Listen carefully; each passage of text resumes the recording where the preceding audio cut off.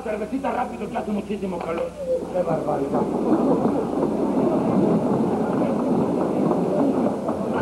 ¿Disfrutó el paseo, su señoría? ¿Qué paseo, ni qué paseo? Voy a poner a dieta ese desgraciado caballo. Estaba así de panzón. Ay, ay, qué sopa es esta. Sopa de castor, señor. ¡Ay, sopa de castor para el sucesor! sopa de castor para el sucesor. Su excelencia, la señora duquesa, opina que su señoría es excesivamente igualado con nosotros. ¿Ah, sí? ¿Qué? ¿Ella no baja aquí seguido? De ninguna manera, excelencia.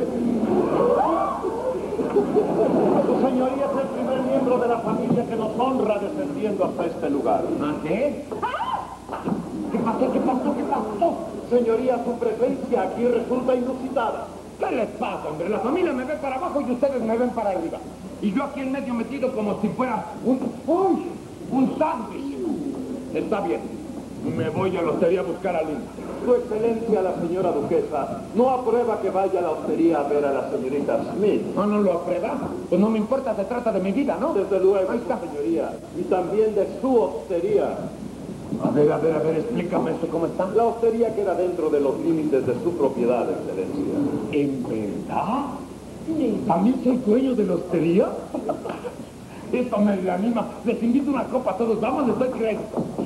¿Su señoría? Vamos. ¿Y qué- qué- qué- quién habló? No, debe ser ventríloca. Porque habló sin mover la boca. Lady Jacqueline espera a su señoría en el despacho. ¿En el despacho? ¿Dónde queda el despacho? Queda en el ala norte del palacio, al sur de la sala de armas, cruzando el salón de música y 100 metros antes del jardín de invierno.